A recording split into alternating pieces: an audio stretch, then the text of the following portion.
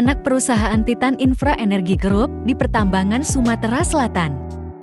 PT Titan Infra Energy, sebagai bagian integral dari Titan Infra Energy Group, fokus pada pengembangan infrastruktur dan logistik di sektor energi. Salah satu proyek penting yang telah mereka laksanakan adalah pembangunan jalan dan pelabuhan khusus batubara di Sumatera Selatan.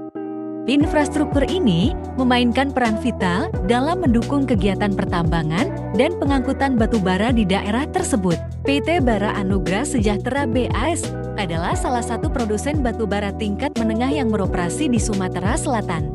Izin usaha pertambangan batubara seluas 2.164 hektar di Kabupaten Muara Enim menjadi landasan operasional BAS.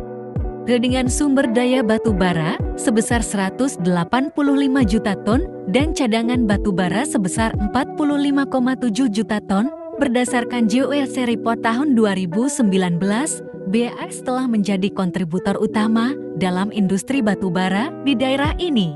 PT Banjarsari Pribumi BP adalah perusahaan tambang batubara yang beroperasi di Sumatera Selatan dengan izin usaha pertambangan batubara seluas 519,84 hektar di Kabupaten Lahat, BP telah memainkan peran penting dalam industri pertambangan di daerah ini.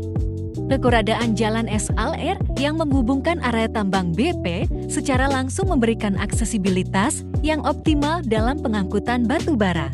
Melalui kolaborasi dengan pemerintah daerah dan pihak terkait, DE Titan Group juga berperan dalam pengembangan masyarakat setempat, program tanggung jawab sosial perusahaan yang berkelanjutan telah dilakukan, termasuk pengembangan infrastruktur pendidikan, perbaikan fasilitas kesehatan, dan pemberdayaan ekonomi masyarakat sekitar tambang.